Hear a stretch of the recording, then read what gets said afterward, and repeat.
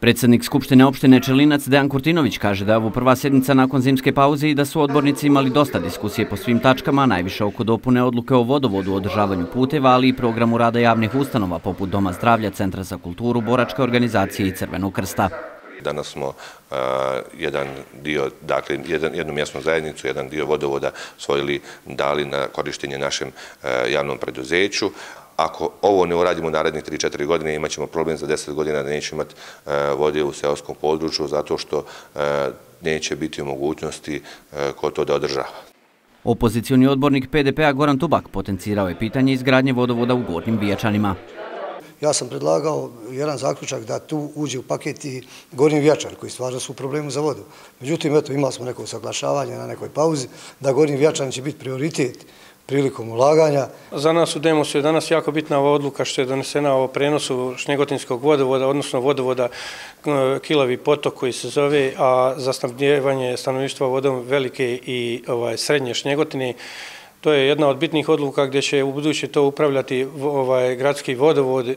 Čelinac i mislimo da je to jedna sigurnost u snabdjevanju. Za nas je bitno da se krene sa izgradnjom ili na neki način rešavanjem vodosnabdjevanja u Gornjim Vijačanima, gdje zaista je već nekoliko skupština i nekoliko godina govorimo da je dole problem vodosnabdjevanja i ja se nadam, evo, načelnik kaže da će i ove godine nešto pokušati se tu da uradi. Trenutno gore e, nemamo veliki broj potrošača priključenih, ali je u planu u nekom narednom periodu da se broj korisnika tu povećava i da na neki način kvalitetno rešavamo vodosnabdjevanje naših građana. Naši odbornici su danas pružili podršku radu, odnosno programima rada i aktivnosti u narednoj godini, znači e, institucija i ustanova, odnosno e, Doma zdravlja e, Sveti Vračević Linac,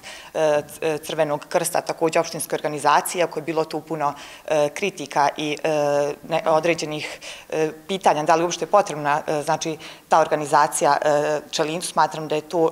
zapravo jedna jako bitna organizacija, da mnogo doprinosi i da se svi trebamo potrujiti da i dalje ona funkcioniše. Imao sam dosta zamjerki vezano za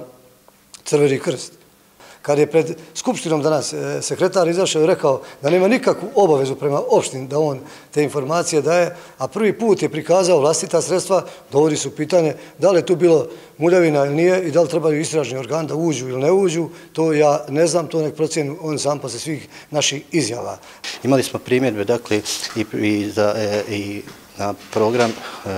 rada Boračke organizacije u smislu što Boračka organizacija, iako je nosilac aktivnosti na obilježavanju parastosa, ne postoji ta takozvana svjetovna komponenta prilikom obilježavanja parastosa, što smo mi nezadovoljni. Dakle, mora se mnogo više pažnje posvetiti tim rodoljubivim sadržajima prilikom obilježavanja ovih događaja. Ja kao ispred kluba odbornika Demokratskog narodnog saveza ponovo postavila pitanje u vezi naše inicijative o neradnoj nedelji koju smo podnijeli na desetoj redovnoj sjednici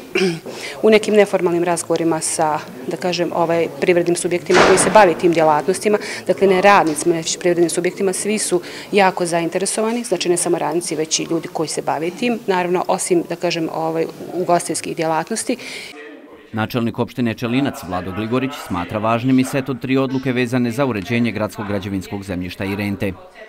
koje daju poruku da se u Čelincu isplati graditi, da su povoljni stimulativni uslovi za gradnju u Čelincu, kako e, u urbanom dijelu grada, u prve četiri urbane zone, što pokazuje određena e, aktivnost u zadnjih nekoliko godina, gdje evo i prošle godine smo čak smanjili nešto procenta u drugoj i trećoj zoni za obračun renti i uređenja i vidi se tu da je krenule su određene aktivnosti u pravcu i stanogradnje i Dakle, na neki način ono što je hrabrujuće da u Čalinac dosali po neki stanovnik Banja Luke kupi stan. Gligorić je zadovoljan i po pitanju rada javnih ustanova, naročito kada je u pitanju Dom zdravlja Sveti Vračevića Linac, gdje se, kako kaže, i pored teških uslova u zdravstvu uzrokovanih pandemijom uspjelo nabaviti jedno novo dijalizno vozilo, a napravljena je jedna nova ari ambulanta za COVID pacijente. Dodaje da je u planu izgradnja ambulante u Jošavci, gdje je u toku provođenje tenderske procedure i rad ostalih javnih ustanova je, kaže, u okviru plana iz ranijih godina sa predlozima nekih novih aktivnosti.